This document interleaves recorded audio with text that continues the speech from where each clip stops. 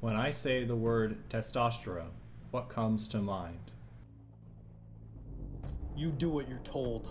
Come over here and make me, Pipsqueak. Whatever you say. it's a fact that men's testosterone levels have been declining for decades. Conventions and be dorks. I will not have nerds as children.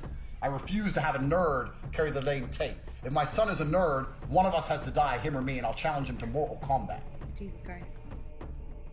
That's why genitals, I don't care if you're black or white, are a third the size they were of a 1960s male. Lots of people online have a variety of ideas on this, and by extension, being a man. From influencers on social media and television, is as strong really as its citizens, and I think that mental and physical health go hand in hand. There is nothing, uh, I think, uh, more unfortunate than to have uh, soft, chubby, fat-looking children. There's been a 50% decline in sperm counts in uh, the last 40 years, along with a precipitous decline in testosterone production. We're headed for a calamity, and that's not hyperbole, it's not exaggeration, it's just a mathematical fact. To anyone on TikTok,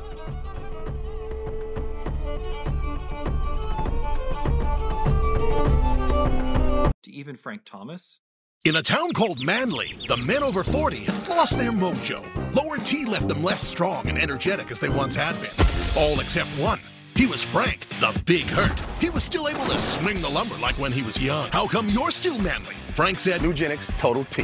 Nugenix Total At any rate, these common talking points influence the average person's perception of testosterone, and the ready access to testosterone supplements over the counter encourages people to go out to their local CVS and grab one for themselves. Even Nugenix is at Walgreens. But does high testosterone cause a hypermasculine alpha male mindset? Or is this a misconception of testosterone's real effects?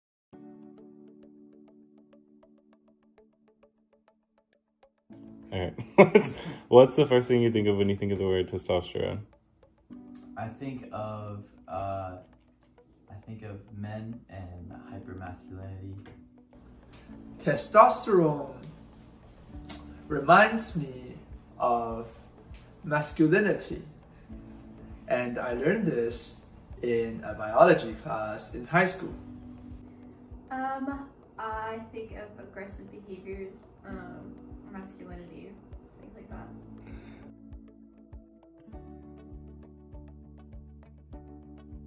What is masculinity? Is it what it means to be a man? Is it a scientifically proven quality or just a social construct?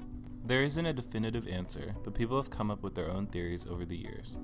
In a 1968 study by Paul Rosenkrantz and colleagues, they found that college students related masculinity with traits such as aggressiveness, skill in business, and never crying. These male valued traits are typically associated with a little hormone called testosterone. This association comes from the fact that testosterone is secreted by the testes, plays a role in sexual differentiation, and does aid in masculinizing the human brain. However, testosterone isn't as manly as you think. In rodents, it is the aromatization of testosterone into estradiol, an estrogen hormone, that masculinizes the brain. But what about humans? In a 2013 study by Joel Finkelstein and colleagues, it was determined that estradiol actually has a significant effect on sexual function and performance in men. When participants of the study were administered aromatase inhibitors, which block the metabolization of testosterone into estradiol, sexual desire and erectile function both decreased.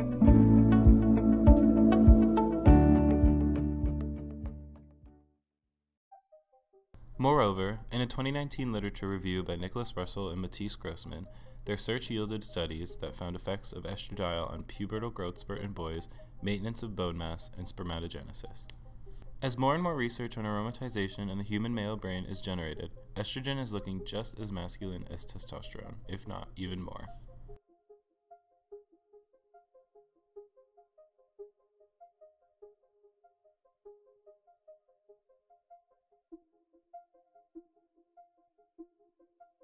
We talked with Dr. Elodie Desrosiers of University of Sorbonne, who has done research into the effects of testosterone in sexual behavior and reproduction.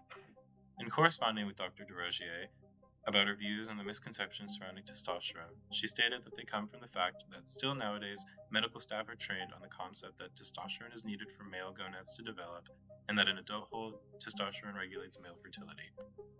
And only gonads can secrete sex steroids, and therefore male gonads secrete testosterone and female gonads estradiol and progesterone, respectively.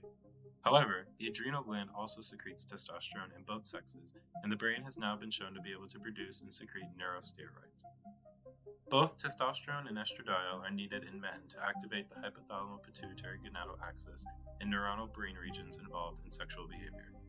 Her recent work has shown that another important molecule is important in sexual behavior and reproduction, the neuropeptide called kisspeptin.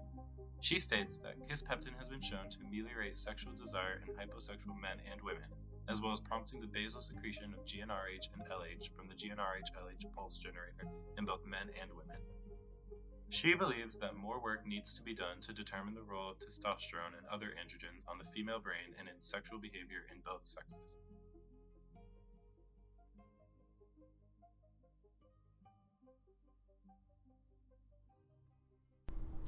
The interactions between hormones and behavior are bidirectional, meaning hormones can influence behavior and behavior can influence hormone level.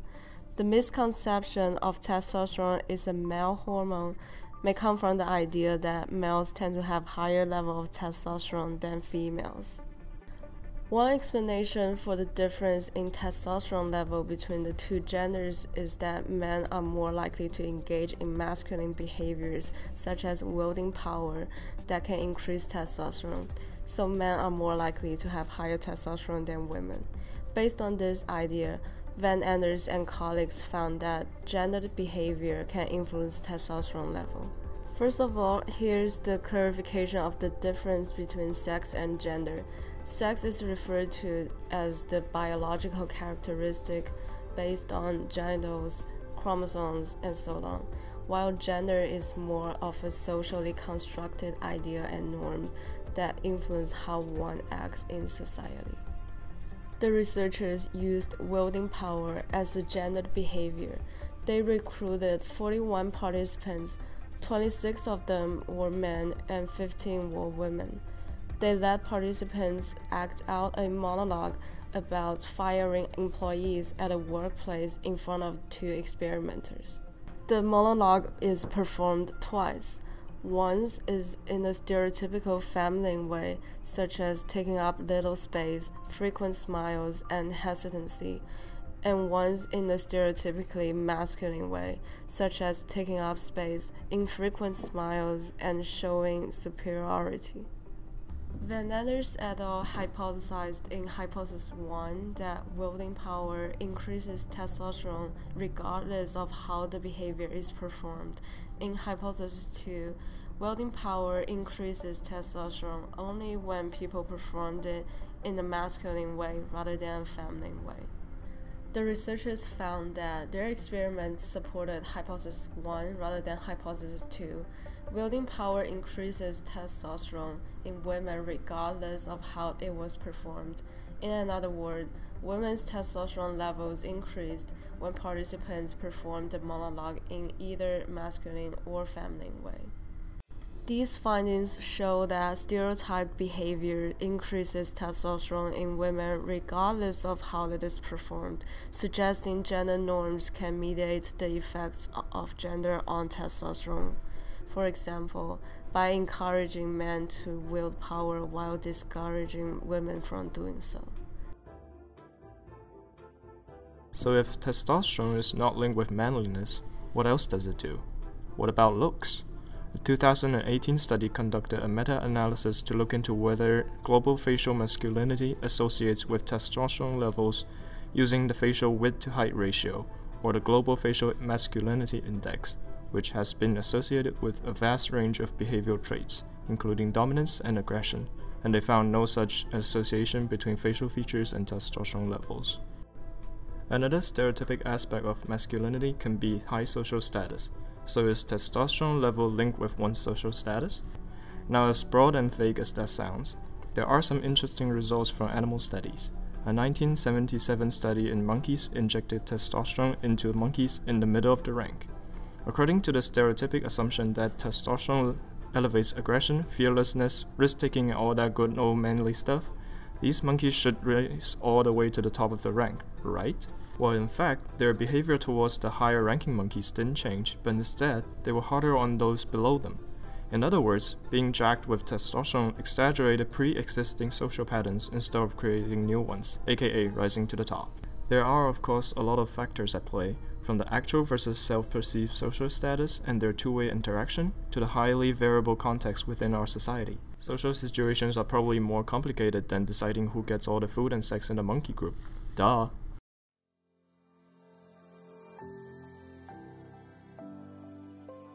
So, what's next? Combating misinformation can be difficult, especially when it's deeply rooted in a culture that has been around for decades. But people's minds can indeed change. What's the first thing that comes to mind when you think of testosterone? Oh, oh that hormone. I don't know. Rage. So, what do you think of testosterone and its surrounding myth now?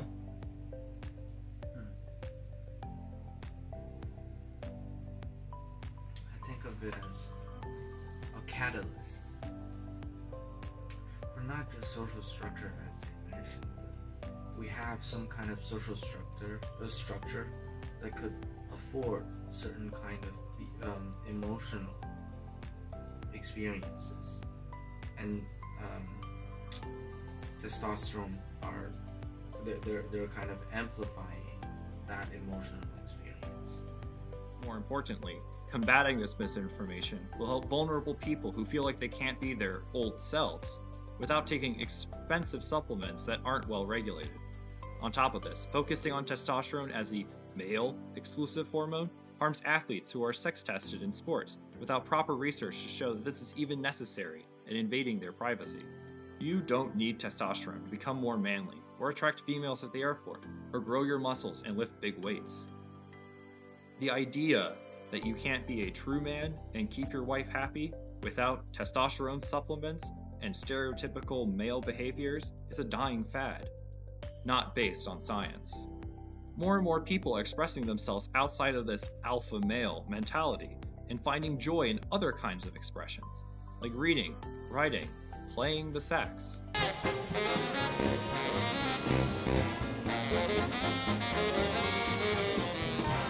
So don't worry if you feel like a member of the city of Manly and aren't like Frank Thomas the Big Hurt. Everyone loves you just as much, if not more than him.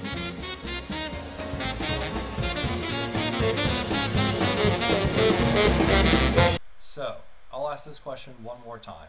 What do you think of when I say the word testosterone?